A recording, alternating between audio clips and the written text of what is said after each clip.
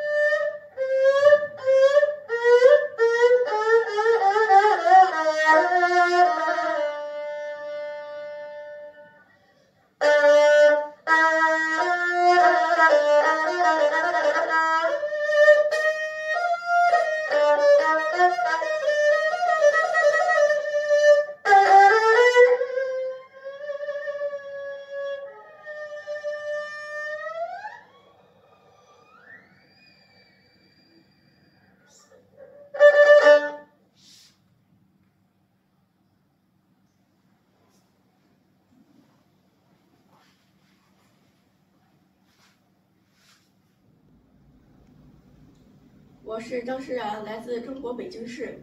今天是二零二三年七月三十一日。